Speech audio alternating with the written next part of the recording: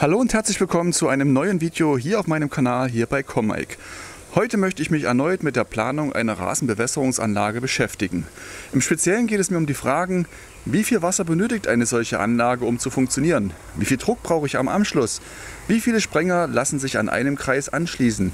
Was kann ich tun, wenn mein Anschluss nicht reicht? Wenn ihr wissen wollt, wie die Antwort auf diese Frage lautet und wie ich das Ganze bei mir berechnet und umgesetzt habe, dann bleibt dran, gleich geht's los.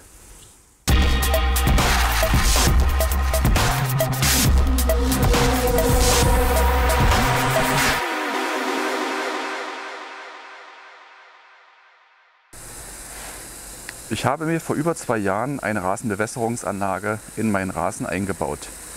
Meine Anlage besteht aus sechs Beregnungskreisen mit je drei Hunter i20 Rasensprengern. Die Verteilung auf die Kreise erfolgt über zwei Ventilboxen. Eine Box ist mit Hunter ausgestattet, die andere mit Rainbird.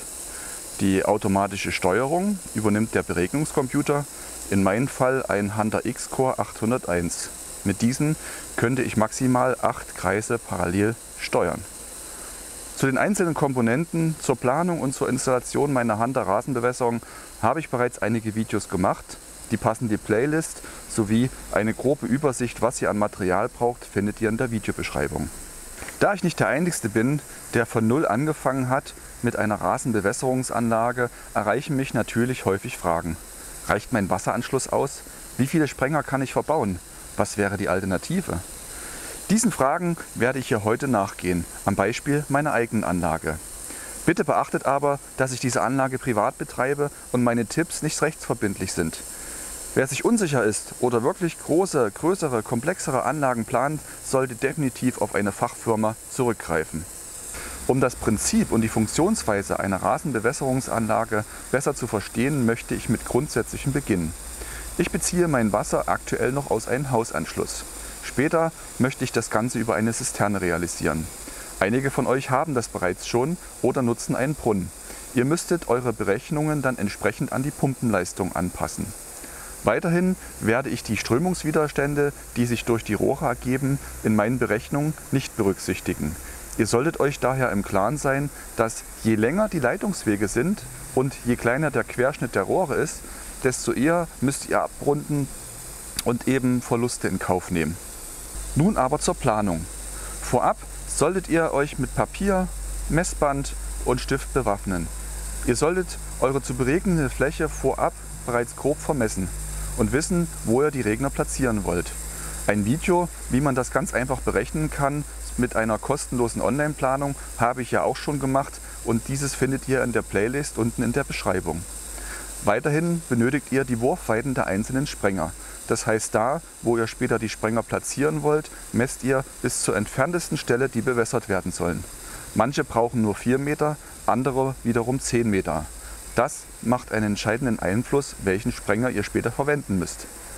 Der Druck und die Wassermenge muss am Ende passen, um alle Sprenger ausreichend zu versorgen. Reicht es nicht, benötigt ihr gegebenenfalls einen weiteren Beregnungskreis oder euer Rasen wird dann eben nicht vollständig bewässert. Der Druck und die Wassermenge muss am Ende passen, um alle Sprenger ausreichend zu versorgen. Reicht es nicht, benötigt ihr einen weiteren Beregnungskreis. Euer Rasen wird dann eben durch mehrere Kreise nacheinander bewässert. Das dauert dann insgesamt etwas länger, führt aber letztendlich zum gleichen Ergebnis. Alternativ müsst ihr einen anderen Sprenger verwenden, der weniger Wasser benötigt. Aber auch dieser müsste dann länger laufen. Das Ziel ist es ja schließlich, die gesamte Rasenfläche einheitlich mit dem gleichen Wasserauftrag zu beregnen. Genau aus diesem Grund sollten verschiedene Sprenger auch nicht in einem Kreis kombiniert werden. Denn wenn der eine Sprenger 10 Liter in der Stunde ausbringt, der andere aber nur 2 und beide an einem Kreis betrieben werden, denke ich, ist es völlig klar, dass ein Teil des Rasens immer trockener ist als der andere. Jeder eurer Sprenger wird später mit einem Wasserrohr angeschlossen. Ich persönlich verwende PE-Rohr in der Größe 25. Mein Hausanschluss ist selber nur 26, das heißt, selbst bei der Verwendung eines 32er Rohres hätte es für mich keinen Vorteil. Grundsätzlich meine Empfehlung aber, je größer der Querschnitt, desto besser und wenn euer Hausanschluss mehr hergibt, dann tut von vornherein gleich großzügiger dimensionieren. Das Rohr sollte so verlegt werden, dass die Sprenger parallel angeschlossen werden, also nicht nacheinander in Reihe, sondern nebeneinander. Falls das nicht möglich ist, besteht das Risiko, dass am ersten Sprenger zu viel Wasser ankommt und am letzten zu wenig oder gar keins mehr. Mitunter ergibt sich durch die Position der Rohre schon die Anzahl der Sprenger. Es macht meiner Meinung nach auch keinen Sinn, erst das Rohr in eine Richtung des Gartens zu verlegen, um dort zwei Sprenger anzubinden und dann von dort nochmal 50 Meter in die entgegengesetzte Richtung zu gehen, nur weil diese Leitung noch einen weiteren Sprenger vertragen könnte. In dem Fall legt von vornherein einfach zwei Kreise, einmal nach links zu den zwei Sprengern und dann nach rechts zu dem anderen. Doch kommen wir nun zur Frage, wie berechnet man das Ganze? Letztendlich ist das völlig simpel. Ihr lest aus einer Tabelle des Herstellers ab, wie viel Wasser euer Wunschsprenger benötigt. Dabei ist natürlich der Wasserdruck und die Wurfweite wichtig. Die abgelesene Wassermenge, entweder pro Minute oder pro Stunde eurer einzelnen Sprenger, addiert ihr dann zusammen und schaut nach, ob euer Wasseranschluss diese Menge hergibt. Im Zweifel solltet ihr natürlich immer abrunden und auf einen zweiten Wasserkreis setzen. Denn reduzieren kann man den Wasserfluss an den Sprengern im Regelfall immer, erhöhen aber nicht. Doch wie kann ich jetzt diese Kennziffern ermitteln? Um den Wasserfluss meines Wasseranschlusses zu ermitteln, benötige ich letztendlich nichts anderes als einen 10-Liter-Eimer und eine Stoppuhr.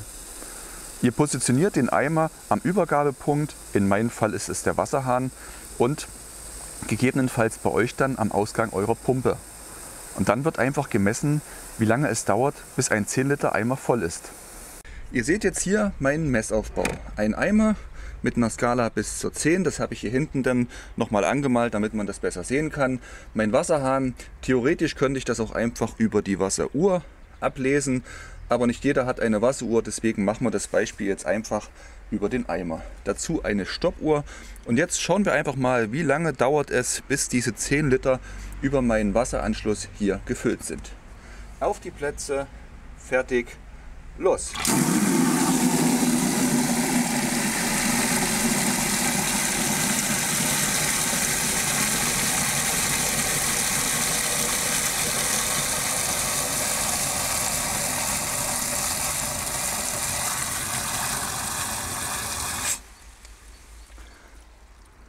Und wie ihr jetzt hoffentlich gut erkennen könnt, 17 Sekunden, knapp 18 Sekunden äh, benötige ich aktuell, um einen 10 Liter Wassereimer hier zu füllen.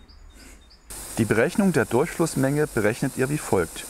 Ihr nehmt eure 10 Liter und dividiert diese durch eure Sekunden, in meinem Fall 18. Das Ganze wird mit 60 multipliziert, um auf den Wasserdurchfluss pro Minute zu kommen. In meinem Fall sind das 33. Wenn ich das Ganze noch einmal mit 60 multipliziere, komme ich dann auf 2000 Liter in der Stunde. Das Ganze wird immer abgerundet, immer zum Schlechteren. Falls eure Wasserleitung eher begrenzt ist und ihr einen Eimer mit einer Skala habt, könnt ihr auch messen, wie viel Wasser in 10 Sekunden in den Eimer fließt. Das Ganze dann mal 6 und ihr habt natürlich auch die Leistung in der Minute. Den Wasserdruck könnt ihr leider nicht so einfach berechnen. Hier bietet sich an, ein Manometer an den Wasserhahn anzuschließen. Falls ihr keines habt, findet ihr vielleicht den Wasserdruck an eurem Hauswerk oder an eurem Wasserfilter. Notfalls fragt einen Nachbarn, wenn die Leitungen annähernd identisch sind. Pumpennutzer schauen einfach in das Datenblatt der Pumpe bzw. messen am Ausgang der Pumpe ebenfalls mit einem Manometer. Ich habe einen Druck von 4 bis 4,5 bar. Das hängt bei mir wirklich sehr stark von der Tageszeit ab, wie viel Wasser in meinem Haus gezogen wird, aber auch in der Straße und in der umliegenden Nachbarschaft. Für die Berechnung unterstelle ich eine Druck oder einen Druck von 4 bar. Nun habt ihr alle nötigen und wichtigen Kennzahlen ermittelt und es kann an die Berechnung gehen. Entweder nutzt ihr den Papierkatalog, falls ihr diesen zur Hand habt, oder ihr macht es wie ich und geht einfach online. Los geht's, ab an den PC. Und zurück am PC. Wie ihr sehen könnt, habe ich meinen Browser schon gestartet und verschiedene Tabs vorbereitet. In dem Sinne vorab einfach nochmal hier die Planungsanleitung für Systeme in privaten Grünflächen. Eine Anleitung von Hunter, wie ich finde, sehr gut gelungen. Wenn man die öffnet, ein PDF, dann seht ihr hier auf 31 Seiten, wie eine Anlage ja, installiert werden sollte, wie man dabei vorgehen sollte.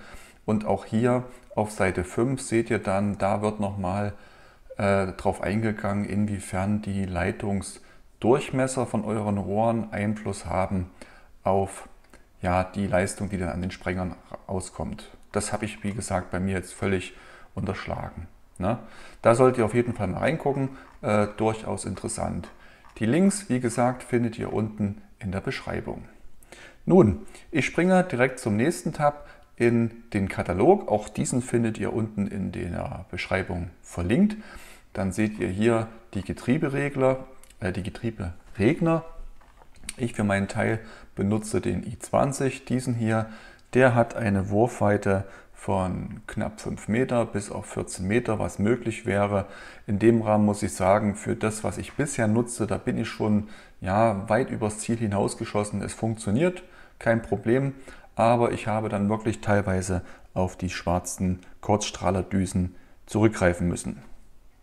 Die Düsen im Übrigen, im Übrigen sind im Hunter i20 frei wählbar. Das heißt, in dem Zusammenhang könnt ihr jetzt hier als Beispiel mal bei dem PGJ diese rote Düse hier, das könnt ihr komplett wechseln. Ja, da gibt es verschiedene Varianten, alles kein Problem, kann man einzeln kaufen, gibt es auch ein Starterpaket dazu. Ich springe jetzt nochmal direkt zum Hunter i20, da seht ihr jetzt hier das Produktblatt. Der ähm, Hunter i20 ist ein aufsteigender Regner, das heißt, wenn das Ding nicht läuft, seht ihr davon gar nichts. Dann ist praktisch hier auf dieser Höhe, wenn ihr jetzt meine Maus seht hier, äh, die Grasnarbe und dann, wenn das äh, Wasser kommt, also wenn die Anlage unter Druck gesetzt wird, steigt dieser Bereich hier um knapp 10, 15 cm auf. Na, also 10 cm ist die Aufsteigerhöhe, wie sie jetzt hier beschrieben ist und ähm, besprengt dann den Rasen. Verschiedenste Funktionen, also ich muss sagen, ich bin da sehr, sehr zufrieden. Und dann rutsche ich direkt mal tiefer, um die einzelnen Düsen, die es hierzu gibt, einfach mal zu zeigen.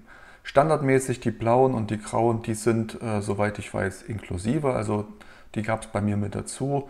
Äh, grün und schwarz, die muss man separat kaufen. Da muss man teilweise auch kräftig suchen, bevor man die dann wirklich auch findet.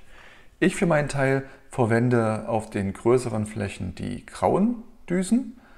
Die äh, ermöglichen es, den Rasen zu bewässern auf einer Wurfweite oder mit einer Wurfweite von ja, 7 Metern bis insgesamt ja, 11 Meter, was möglich wäre.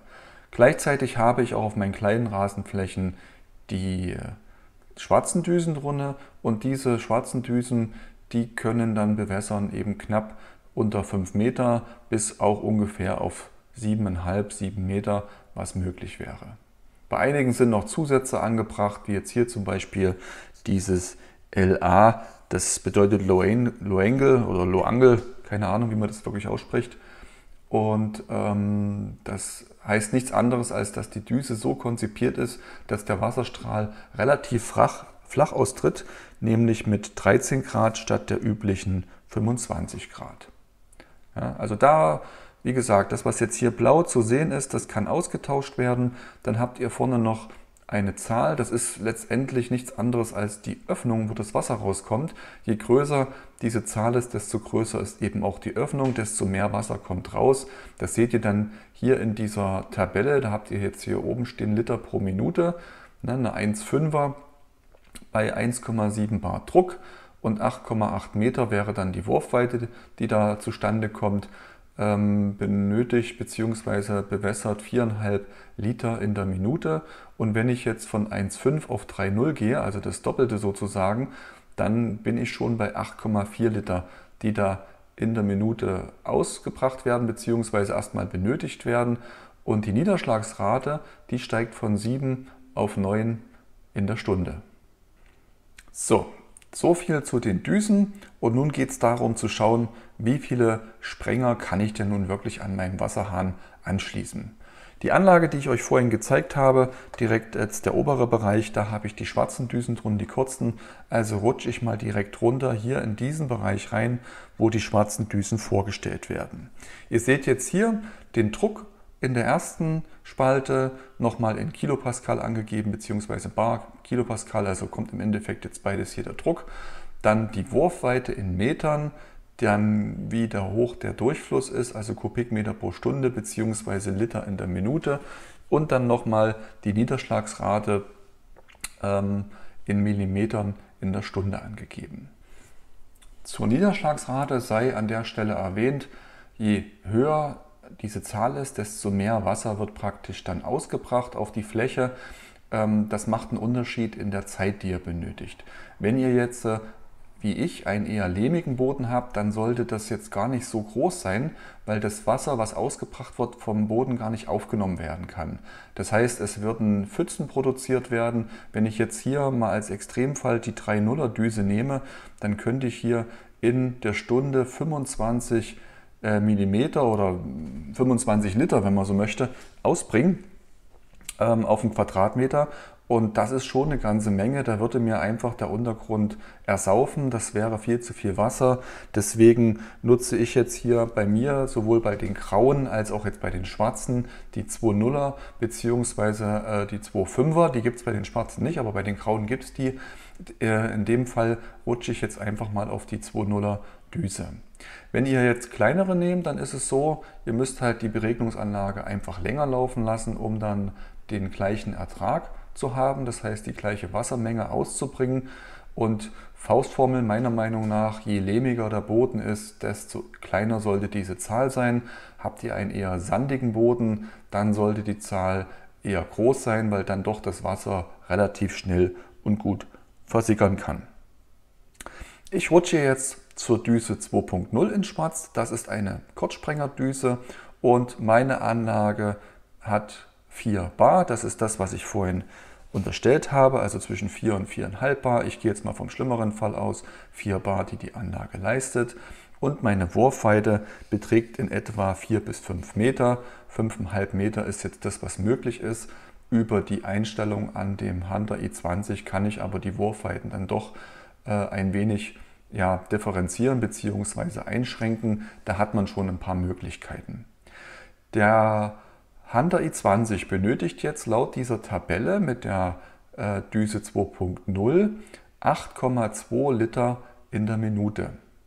Das ist dann schon eine ganze Menge und würde bedeuten, dass wenn ich jetzt äh, zwei Sprenger habe, ich auf 16,4 Liter komme und bei drei Sprengern auf 24,6 und so weiter und so fort. Das heißt, ihr schaut jetzt einfach nach, wie hoch ist der Durchfluss in Litern pro Minute. Dann schaut ihr, wie viele Sprenger habt ihr jetzt am Stück an diesen Kreis eingeplant, beziehungsweise wie viel hat euch vielleicht das Online-Tool vorgerechnet, was ich ja in einem anderen Video bereits vorgestellt habe. Und dann kommt ihr auf eine Gesamtsumme. In meinem Fall sind das jetzt 24,6 Liter für drei Sprenger mit der Düse 2.0. Meine Anlage bzw. mein Wasseranschluss gibt im schlechtesten Fall 33 Liter her und benötigen würde ich 24,6. Ich könnte jetzt in dem Zusammenhang noch einen vierten Sprenger installieren und würde dann wirklich ganz haarscharf an der Kotzgrenze landen, wenn ich das so sagen darf, mit knapp über 33 Litern.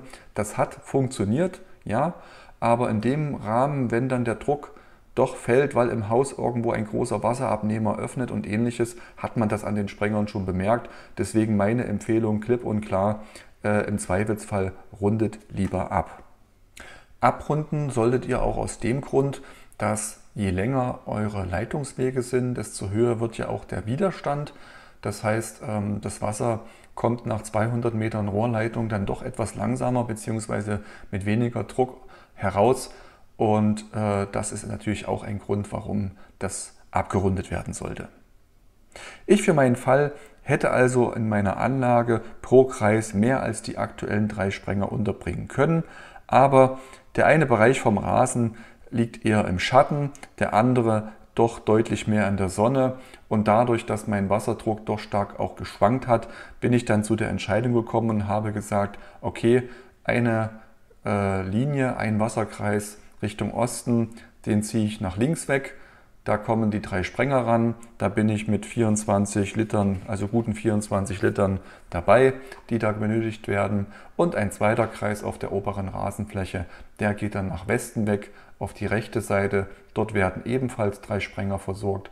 und so habe ich genügend Kapazitäten an Wasser, um die Sprenger zu bedienen und gleichzeitig habe ich aber auch die Möglichkeit zu sagen, der eher schattigere Bereich, der wird gar nicht so lange beregnet und der eher sonnigere Bereich, also auf der Westseite dann vom Haus, ähm, da wird dann doch mal ein paar Liter mehr rausgelassen, einfach um die benötigte Feuchtigkeit dort unterzubringen. Ihr seht also, die Berechnung, wie viele Sprenger kann ich an einem Kreis unterbekommen, wie viele Sprenger verträgt mein System, das ist gar nicht so schwer. Ihr braucht diese Tabelle, ihr braucht ähm, ja, ein grobes Gefühl, welcher Sprenger der richtige ist. Das seht ihr an den Wurfweiten, an den Wassererträgen bzw. Ausbringungsraten, die da rauskommen. Und ansonsten ist es einfache Mathematik, indem ihr einfach eure Sprenger, die ihr einzeln habt, zusammenaddiert und schaut, ob die dann in die Anlage hineinpassen. Und um jetzt hier die richtige Sektion herauszufinden, also die einzelnen Spalten, was benötigt ihr? Nochmal zusammenfassend, ihr benötigt den Wasserdruck, den lest ihr einfach mit einem Manometer ab, ersatzweise vielleicht am Hausberg oder am Wasserfilter irgendwo im Haus, äh, möglichst in der Nähe des Übergabepunktes. Die Durchflussmenge, wie viel Liter schafft eure Leitung ähm, in der Minute bzw. in der Stunde, das ist ja beides möglich hier abzulesen. Auch das könnt ihr ganz einfach ermitteln. Ihr braucht einen Eimer und eine Uhr, das habe ich euch vorhin gezeigt. Das ist kein Teufelsmerk. Und letztendlich braucht ihr nichts anderes als diese Tabelle. Einmal hier mit den grünen und schwarzen bzw. den blauen und grauen Düsen. Ihr schaut dann einfach rein, welche Entfernung möchte ich beregnen. Daraufhin sucht ihr euch die Düse raus, also die Farbe. Und dann wird einfach in der Tabelle geschaut, Druck, Wurfweite, wie viel Liter benötige ich. Nun kann es aber sein, dass der Wasserdruck bzw. die Wasserdurchflussmenge bei euch einfach nicht ausreichend ist. Oder ihr merkt, Mensch, der i20, das ist einfach zu viel des Guten, so viel brauche ich gar nicht. Ich brauche eine Alternative. Klar, Alternativen gibt es auch. In dem Fall ist das meiner Meinung nach der MP-Rotator. Ich selber habe den noch nicht verbaut. Das ist auch ein Rasensprenger aus dem Hause Hunter der ein ganz, ganz anderes Wurfbild abgibt. Es gibt einmal die MP800 Serie, da seht ihr jetzt hier unten auf der Webseite schon, die Wurfweite beträgt 1,8 bis knapp 5 Meter und es gibt den Standard MP Rotator mit 2,5 bis knapp 11 Meter. Der Unterschied zum i20, den ich euch eben gezeigt habe, beginnt schon damit, dass hier die Düsen letztendlich diese runden Kreise hier oben drauf sind, also diese hier, und ihr vorneweg schon das passende Gehäuse kaufen müsst. Beim i20 ist das Gehäuse mit den Düsen komplett verbaut. Da könnt ihr vorne nur diese kleine Düse wechseln. Äh, da gibt es nur das eine Gehäuse. Aber bei der Rotator-Serie gibt es verschiedene Gehäuse, sowohl was die Aufsteigerhöhe angeht, aber auch so kleine Gimmicks wie das ProSpray PRS 40, glaube ich, heißt es. Ähm, da ist es so, dass das Gehäuse sogar den Druck, egal wie viel ihr dort reinbringt, auf 2,8 Bar begrenzt. Ich klicke jetzt einfach mal auf den MP-Rotator, auf das Standard, dann springt das Ganze schon um und dann seht ihr hier schon, ihr habt ein völlig anderes Wurfbild. Das sind dann mehrere Strahlen, die laufen reihum und bewässern dann Stück für Stück euren Rasen, eure Wiese oder eure Anpflanzung, so wie ihr das möchtet. Der Wasserverbrauch ist deutlich geringer, also das ist absolut äh, bemerkbar und da kommt natürlich dann eins zum Tragen, das Ganze muss deutlich länger laufen, um die gleiche Wassermenge auszubringen. Ihr könnt dann hier auf der Webseite einfach durchklicken und euch das Ganze mal anschauen. Ja, ich mache jetzt eins, ich klicke jetzt einfach mal auf die Betriebsdaten, um euch mal zu zeigen, wie das Ganze bei dem Rotator funktioniert. Denn beim Rotator ist es so, ihr habt das Gehäuse, hier ist nochmal das Pro Spray PAS 40, das den Betriebsdruck von 2,8 Bar ähm, automatisch einregelt. Dann gibt es insgesamt drei Düsen, also diese, diese Scheiben, die da oben drauf kommen. Einmal der MP1000, der ist geeignet für Wurfweiten von 2,5 bis 4,5 Meter. Darüber hinaus der MP2000 von 4 bis 6,4 Meter und dann gibt es noch den MP3000, der schafft dann 6,7 bis 9,1 Meter. Die 3,5er Serie geht dann bis knapp 11 Meter. Das ist der große Unterschied. Ihr habt jetzt hier die Düsen, die die Wurfweite von vornherein schon stark vorgeben. Ein weiterer oder ein weiterer riesiger Unterschied ist, dass im Gegensatz zum i20 ihr keinen ja, frei wählbaren Winkel habt, denn der i20, ihr erinnert euch, da könnt ihr von äh, quasi knapp 10, 15 Grad, ich weiß es gar nicht, aber zumindest bis knapp 360 Grad könnt ihr das Wurfbild einstellen. Bei den MP-Rotatoren seht ihr hier, es gibt eine Düse in der Variante 2000, die schafft nur 90 Grad. Ihr habt eine Düse, die schafft 180, ihr habt eine Düse mit 210, 270 und eine Düse, die den Kreis schafft, die 360 Grad. Das heißt, in dem Zusammenhang ähm, habt ihr zunächst ein anderes Wurfbild, dann habt ihr eine Entfernung, die von den Düsen von vornherein schon vorgegeben ist. Und ihr müsst beachten, wenn ihr dann diese Geräte kauft und die entsprechenden Düsen kauft, ihr könnt jetzt nicht einfach sagen, ich habe fünf Springer, ich kaufe jetzt fünfmal die schwarze Düse. Nein, ihr müsst vorneweg genau schauen, dieser Sprenger hier kommt in eine Ecke, soll 90 Grad sprengen, also brauche ich von dieser Variante MP2000 90 Grad, brauche ich ein Stück. Ich habe einen zweiten Sprenger, der steht an einer Außenkante, der soll praktisch ähm, um die Ecke herum sprengen, dann brauche ich 270 Grad. Na, also in dem Zusammenhang müsst ihr vorneweg einfach schon aufpassen, dass ihr da nicht die falschen Sachen bestellt, wobei diese Düsen relativ günstig sind, meiner Meinung nach. So, wenn ich jetzt äh, den i20 an meiner Ecke vorne 90 Grad Winkel austauschen würde, das werde ich vielleicht tun. Also mein Ziel ist es dieses Jahr, diesen Rotator erstmalig auf einer kleineren Rasenfläche unterzubringen. Dann kaufe ich mir das Gehäuse, das ProSpray PAS 40 und in dem Rahmen würden meine 4 Bar, die ich ja auf die Leitung gebe, automatisch auf die 2,8 Bar begrenzt. Die Wurfweite von 4 bis 6,4 Meter würde in meinem Rahmen reichen, das passt. Deswegen der MP2000, 4 bis 6,4 Meter, 90 Grad. Das wäre das, was ich für diese Ecke kaufen muss. Die Wurfweite hier 6,1 Meter, was jetzt hier möglich wäre. Und beim Rotator ist es so, 25% der Wurfweite kann am Gerät selber reduziert werden. Ansonsten habt ihr da gar nicht so viele Möglichkeiten. Und dann kommt hier was Spannendes. Ihr seht jetzt hier, der Durchfluss liegt bei 1,6 Litern in der Minute. Ihr erinnert euch, ich klicke jetzt mal zurück, der Durchfluss mit der schwarzen Düse 4 Bar lag jetzt hier bei 8,2 Liter. 8,2 und hier sind es lediglich 1,6. Das ist schon ein gewaltiger Unterschied. Ja, also wenn eure Pumpe nicht so viel Leistung hergibt, euer Hausanschluss nicht so groß ist oder ihr einfach deutlich mehr Sprenger an einer Leitung unterbringen wollt, dann sind diese Rotatoren eine wirklich tolle Sache. Und dann hoffe ich, dass ich euch jetzt einen groben Überblick geben konnte, wie ihr als Laien, als Anfänger problemlos euch in diese Anlage hineinlesen könnt, wie ihr eine Anlage selber planen könnt.